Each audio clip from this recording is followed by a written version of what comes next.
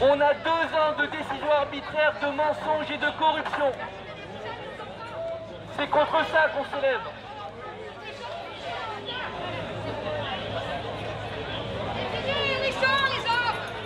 Ah, moi je suis là.